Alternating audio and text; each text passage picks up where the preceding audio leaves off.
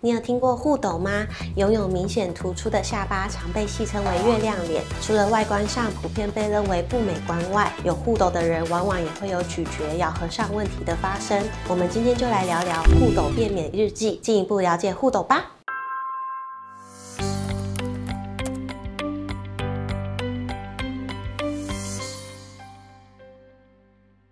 Hello，大家好，我是品翠牙医齿颚矫正专科洪义俊医师。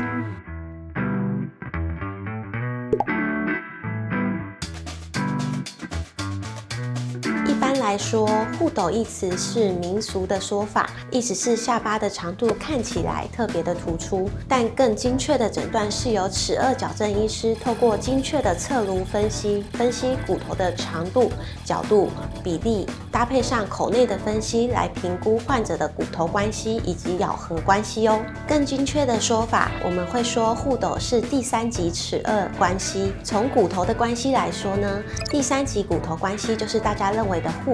而第二级的骨头关系就是小下巴的模样，所以这两种呢是刚好相反的样子哦。另外，从牙齿的关系来看，牙齿的部分也有所谓的第三级牙齿咬合异常，定义是下颚的牙齿在上颚牙齿的外侧，也就是下排的牙齿比上排牙齿更前突出。第三级骨头关系与第三级牙齿异常咬合是不一样的概念，但通常第三级骨性关系也会有第三级牙齿异常咬合哦。如果是因为骨头位置造成护斗，就被视为骨性护斗。骨性护斗成因可能来自于上颚骨头发育不全、下颚骨头凸，或者是以上都有。此外，也有许多研究指出，骨性护斗与基因、环境因素、口腔习惯有关。还有一种齿源性护斗，或是前牙错咬，或称假性护斗的情况。假性护斗来源通常伴随牙齿咬合的干扰，干扰移除后，牙齿。以及关节才能到达对的位置去做咀嚼，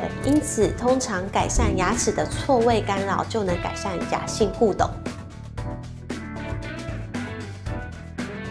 通常比较难自己观察出真护斗还是假护斗，因为骨性关系和牙齿的关系常常是并存的。简单来看，若是外观上你已经觉得看起来有月亮脸的情况，那通常就是合并有骨性的问题；而外观上看起来没有护斗，但笑起来的时候会看到下排牙齿在上排牙齿的前面，那有机会是只有牙齿的问题。这样透过牙齿矫正，不需要正颚手术，就有机会达到良很好的效果哦。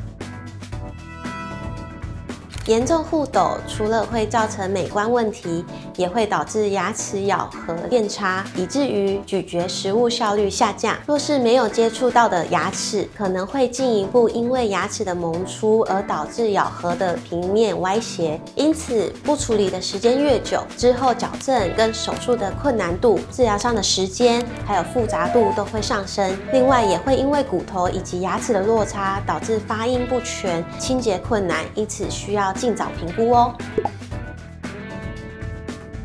根据美国矫正学会的指标，建议小朋友在七岁的时候就可以进行第一次的矫正评估，因为此时进入换牙时期，不但可以观察到牙齿有无萌发异常，也可以判断有没有颚骨生长发育异常。在有以上的情况时，我们会尽早提供矫正治疗的介入。另外，定期给医师检查，越早介入越好哦，因为我们可以尽早发现、尽早处理。想要了解更多互斗相相关资讯，欢迎点击下方链接到部落格观看文章哦。